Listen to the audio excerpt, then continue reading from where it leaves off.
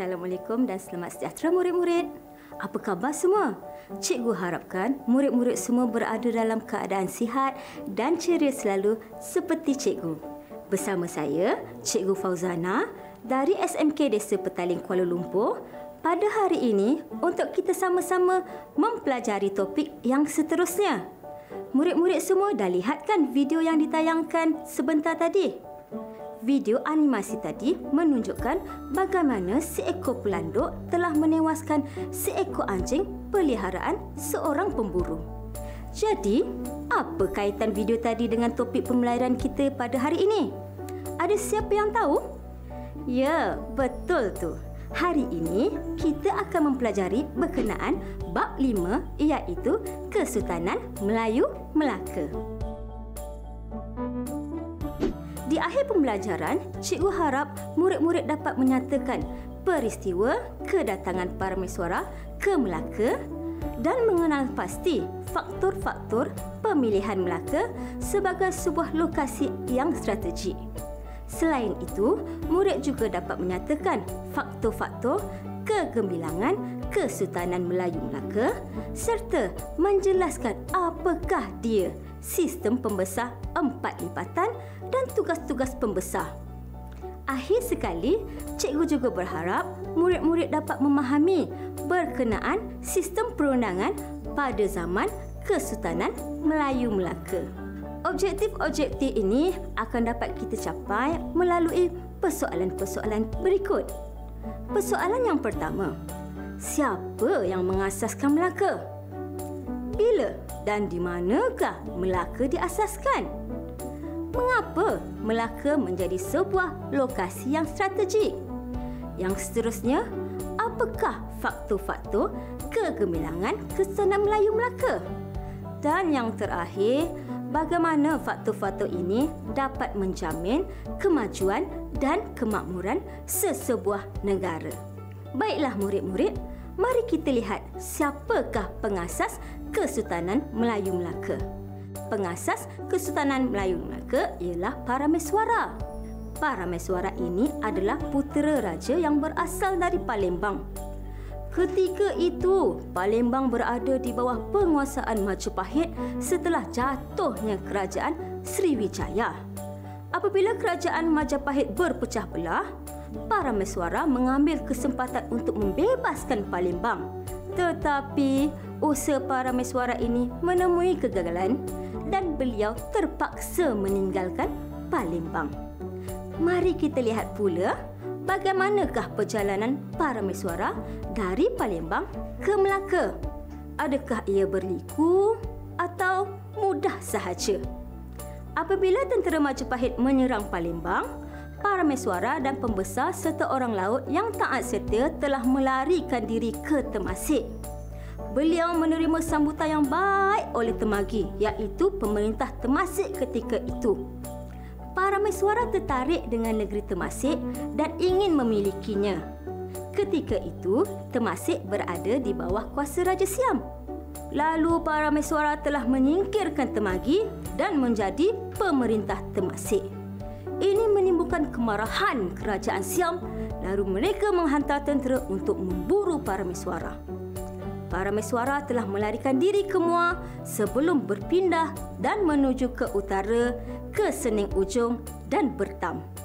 Dan akhirnya, para mesuara bersama pengikut-pengikutnya telah sampai ke sebuah perkampungan nelayan yang berdekatan dengan laut iaitu Melaka. Anak panah berwarna merah pada peta yang dipaparkan ini menunjukkan pergerakan atau perjalanan para mesuara dari Palembang ke Melaka. Di sini kita dapat lihat bagaimana sikap para mesuara dalam memperjuangkan hidup dan nilai-nilai seperti berusaha bersungguh-sungguh, tidak berputus asa dan keyakinan bahawa suatu hari nanti beliau juga boleh bangkit dan seterusnya dapat membina sebuah kerajaan. Sekarang, mari kita lihat asal-usul nama Melaka asal-usul nama Melaka terbahagi kepada tiga. Menurut sejarah Melayu, nama Melaka diambil dari nama sebuah pokok iaitu pokok Melaka yang dijadikan tempat istirahat oleh para mesuara ketika sedang berburu. Menurut cerita, satu peristiwa menarik telah berlaku di situ di mana peristiwa seekor pelanduk telah menendang anjing pemburuan para mesuara hingga jatuh ke dalam sungai. Ingat lagi video yang telah kita lihat pada awal pembelajaran tadi? Disebabkan itu, para mesuara berasa amat kagum dan tertarik. Beliau merasakan bahawa kawasan ini mampu dibangunkan dan dibina sebuah kerajaan. Yang kedua, melalui istilah Arab. Istilah pertama iaitu mulakah. Mulakah bermaksud pertemuan. Ini memandangkan Melaka merupakan sebuah pusat perdagangan yang dikunjungi oleh pedagang-pedagang Arab. Selain mulakah, Melaka diambil dari istilah malakat yang bermaksud perhimpunan segala dagang. Dan yang ketiga, melalui mitos Hindu. Nama Melaka diambil daripada pokok Amalaka yang dipercayai sepohon pokok yang pertama tumbuh di dunia ini dan buahnya mempunyai kuasa yang ajaib. Anda semua sudah lihat kan asal usul nama Melaka dan pengasasnya? Sekarang, mari kita mendalami pula faktor pemilihan Melaka sebagai sebuah lokasi yang strategik. Para Miswara memilih muara Sungai Bertam yang pada asalnya sebuah perkampungan nelayan untuk mendirikan sebuah kerajaan. Muara Sungai Melaka yang dalam amat sesuai bagi laluan kapal dagang. Sungai Melaka ini juga berada pada laluan utama antara timur dan barat dan ini membolehkannya mengawal laluan kapal dagang yang membuat aktiviti perdagangan di sekitarnya. Selain itu, bentuk muka bumi Melaka yang berbukit bukau yang mana dijadikan sebagai benteng pertahanan dan menjadi panduan kapal dagang untuk berlayar. Di Melaka terdapat pokok bakau dan api-api yang berada di pesisir pantai. Pokok-pokok ini dijadikan sebagai benteng pertahanan kerana kekuatannya dan juga dapat dijadikan pelindung semula jadi yang tak boleh dan agak sukar untuk ditembusi oleh para musuh. Kita sudah mengetahui bahawa Melaka mempunyai muara sungai yang agak dalam. Kedudukan muara sungai ini yang terletak di Selat Melaka dan dibantu oleh bentuk muka bumi Melaka yang berbukit bukau menyebabkannya terlindung dari angin monsun. Keadaan dan faktor beginilah membolehkan kapal-kapal dagang dapat datang dan berlabuh di Pelabuhan Melaka dengan selamat pelbagai kemudahan yang disediakan kepada para pedagang yang menginap di Melaka sementara menunggu pergerakan angin monsun. Antaranya ialah kemudahan membaiki kapal, tempat penginapan, tempat menyimpan barang dagangan dan banyak lagi. Kebijaksanaan para mesuara dalam memilih lokasi yang strategik ini untuk membina sebuah kerajaan dan keadaan alam semula jadi mendorong Melaka menjadi pusat pedangan antarabangsa. Banyak manfaat yang dapat kita perolehi jika kita menghargai alam sekitar. Seterusnya, kita akan masuk ke subtopik yang kedua iaitu kegemilangan Kesultanan Melayu Melaka. Faktor kegemilangan Kesultanan Melayu Melaka terdiri daripada tiga aspek. Aspek yang pertama, kepimpinan raja yang berwibawa. Aspek yang kedua, sistem pentadbiran yang tersusun dan berkesan. Dan aspek yang ketiga ialah sistem perundangan yang mantap. Seorang raja atau sultan adalah ketua kerajaan dan ketua pemerintah yang mempunyai kuasa yang tinggi dan berada di puncak pentadbiran kepimpinan seorang raja dapat dilihat melalui keturunan, peranan yang unggul, konsep daulat dan alat kebesaran serta kewibawaannya. Menurut karya teks Sulalatus Salatin, pemerintah Melaka berasal dari keturunan Raja Palembang.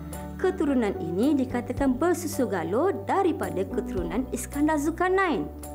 Ini menyebabkan pemberian taraf kedudukan yang tinggi kepada Sultan Melaka dalam kalangan kerajaan lain di sekitar alam Melayu. Raja-raja ini juga turut memainkan peranan dalam pentadbiran. Antara peranan raja ialah menjadi simbol perpaduan dan kemakmuran untuk sesebuah kerajaan. Selain itu, raja juga merupakan ketua angkatan tentera dan ketua agama Islam. Baginda turut memainkan peranan dalam mengetahui hubungan diplomatik dan menegakkan keadilan bagi sesebuah kerajaan. Seseorang raja yang berwibawa juga dikaitkan dengan konsep daulat dan mempunyai alat-alat kebesaran diraja. Daulat ialah kuasa dan kewibawaan raja sebagai seorang pemimpin.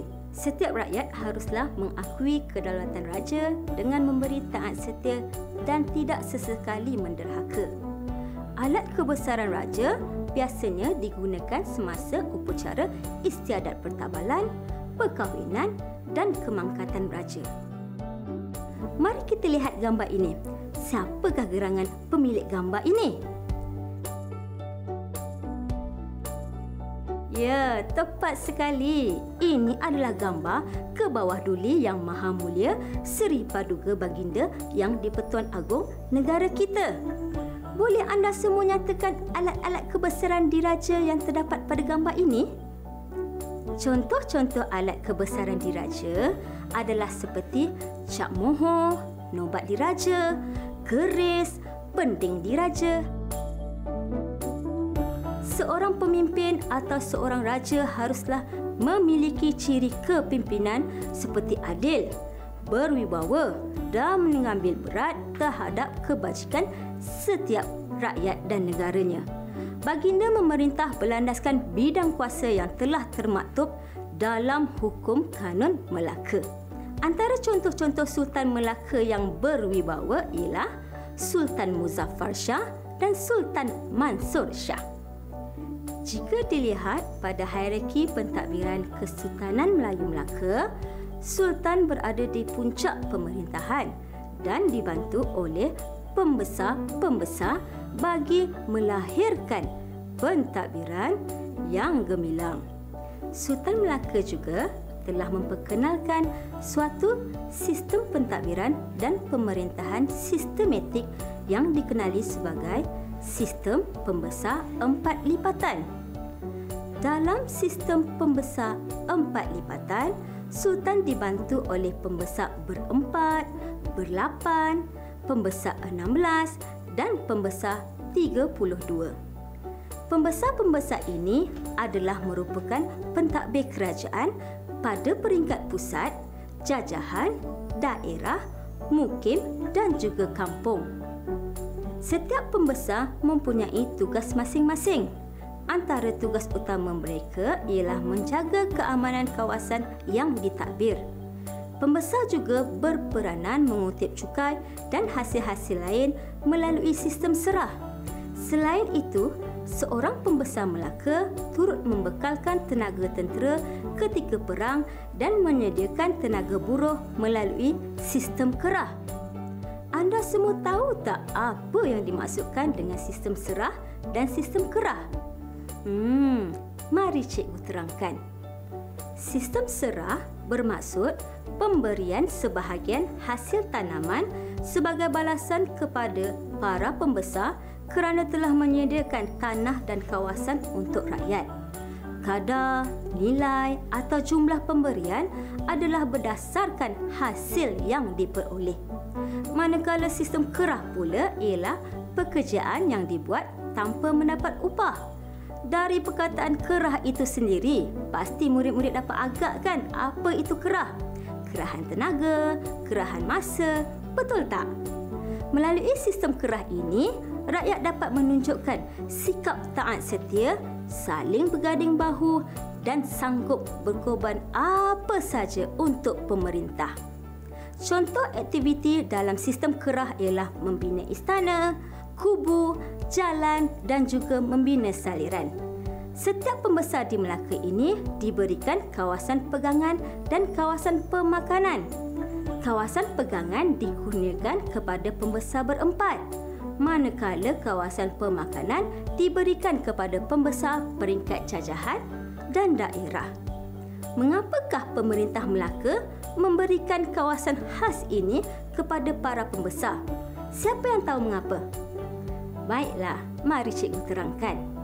Pemberian kawasan khas ini kepada para pembesar adalah sebagai tanda untuk mendapatkan sokongan bagi memantapkan lagi pentadbiran di negeri Melaka.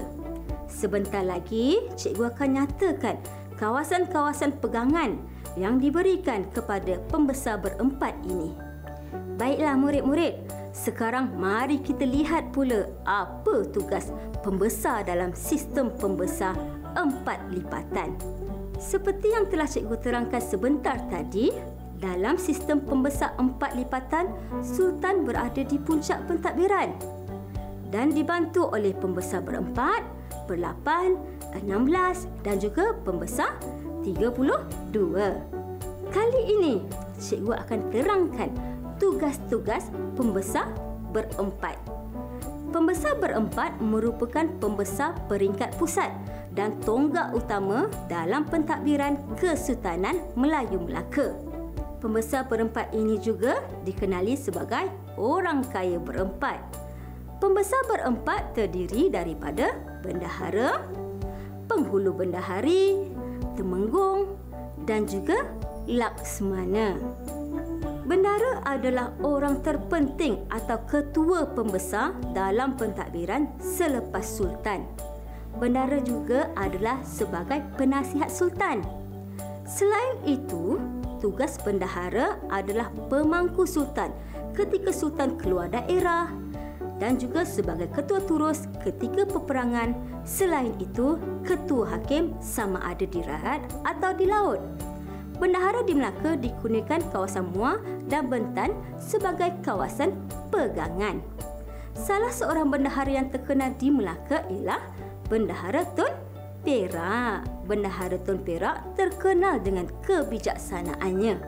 Pembesar yang kedua ialah penghulu bendahari. Penghulu bendahari memainkan peranan sebagai pemungut hasil atau ufti. Penghulu bendahari juga merupakan ketua segala syah bandar dan ketua segala bendahari. Selain itu, penghulu bendahari juga bertanggungjawab sebagai ketua turus setia di istana. Kalau bendahara mendapat muar dan bentan, penghulu bendahari pula mendapat sening ujung dan kampar sebagai kawasan pegangan. Orang kaya berempat yang seterusnya ialah Temenggung.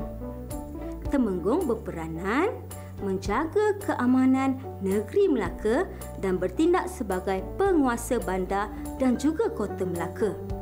Selain itu, tugas Temenggung ialah sebagai ketua polis dan penjara, hakim di darat dan pegawai protokol istana.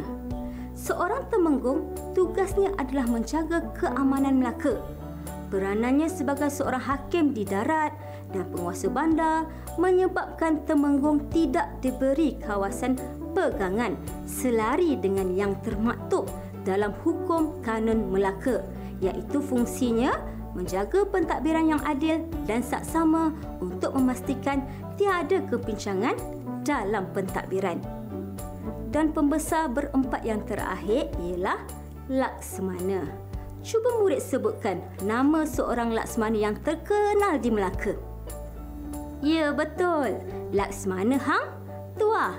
Laksmana Hang Tua memiliki kualiti diri seperti bijaksana, berani, seorang yang taat setia dan mahir dalam ilmu persilatan. Disebabkan sifatnya yang berani dan mahir dalam persilatan, maka Laksmana bertanggungjawab sebagai pengawal peribadi raja. Laksmana juga menjadi ketua angkatan laut dan hakim di laut. Selain itu, Laksmana adalah ketua duta dan ketua utusan ke negara dan kerajaan luar. Kesultanan Melayu Melaka telah memperkenalkan sistem perundangan mantap yang meningkatkan kegemilangan Melaka. Antara undang-undang yang terkenal pada zaman Kesultanan Melayu Melaka ialah Hukum Kanun Melaka, Undang-Undang Laut Melaka, dan juga Undang-Undang Adat. Hukum Kanun Melaka ditulis semasa pemerintahan Sultan Muzaffar Shah dan disusun semula ketika pemerintahan Sultan Mahmud Shah. Hukum Kanun Melaka ini mengandungi 44 pasal berkaitan hak istimewa, tanggungjawab raja dan pembesar. Selain itu, terdapat juga hukum Islam seperti jenayah, urusan jual beli dan kekeluargaan. Keamanan dan keselamatan rakyat dapat diwujudkan melalui hukum kanun Melaka ini. Undang-undang yang kedua ialah Undang-Undang Laut Melaka. Undang-undang ini ditulis semasa zaman Sultan Mahmud Shah untuk menentukan peraturan pelayaran dan perdagangan. Undang-undang ini memberikan aktiviti perdagangan berjalan lancar dan adil sekaligus memberi keyakinan kepada para pedagang. Undang-Undang Laut Melaka ini mengandungi 25 fasal menerangkan berkenaan peraturan di laut, tertib berniaga, tata cara berjual beli, tanggungjawab nahoda, anak kapal, kiwi dan syah bandar. Dan undang-undang yang terakhir ialah Undang-Undang Adat. Adat ini dikenali sebagai adat temenggung adat Temenggung merupakan undang-undang adat yang digunakan di semua negeri Melayu kecuali Negeri Sembilan. Ia diasaskan oleh Datuk Ketemenggungan. Undang-undang adat menyentuh berkaitan sistem pemerintahan, pewarisan tahta dan harta, perkahwinan dan perundangan. Selain itu, undang-undang adat ini juga berkaitan dengan sistem penggantian sultan atau raja yang diwarisi oleh anak lelaki sulung. Ini membolehkan pewarisan tahta ini berlaku secara teratur. Baiklah murid-murid, kita telah selesai pembelajaran kita untuk dua subtopik berkaitan Kesultanan Melayu Melaka ini. Cikgu harap anda faham dan ingat apa yang telah kita pelajari. Ada apa-apa yang anda semua ingin bertanya? Cikgu akan tinggalkan anda semua dengan tugasan soalan berikut. Soalannya berbunyi begini. Satu, siapakah yang mengasas kerajaan Melaka? Dua, apakah faktor tarikan yang menjadikan Melaka sebuah pelabuhan dan pusat perdagangan yang terkenal? Tiga, siapakah pembesar yang tidak menerima kawasan pegangan. Cikgu juga ingin memberikan anda dengan satu soalan kebat. Soalannya, pada pendapat anda, bagaimanakah pelaksanaan undang-undang dapat menjamin kemajuan dan kemakmuran sesebuah negara? Dan mungkin anda boleh minta guru anda di sekolah untuk menyimak dan menilai tugasan-tugasan ini. Diharap tugasan-tugasan ini dapat memberi dorongan untuk murid-murid terus kekal meneroka ilmu sejarah dan menjadi warga negara yang menghargai nilai warisan khazanah negara. Sebagai rumusan kita untuk pembelajaran hari ini, kepimpinan raja yang berwibawa, sistem pentadbiran yang mantap, dan kesungguhan melaksanakan sistem undang-undang telah membawa kepada kegembilangan Kesultanan Melayu Melaka. Setiap rakyat harus mematuhi dan mendaulatkan undang-undang demi keamanan dan kesejahteraan negara sekaligus dapat mewujudkan kestabilan politik dan kemakmuran ekonomi. Jumpa lagi di lain kali usaha, tangga, kejayaan. Bye.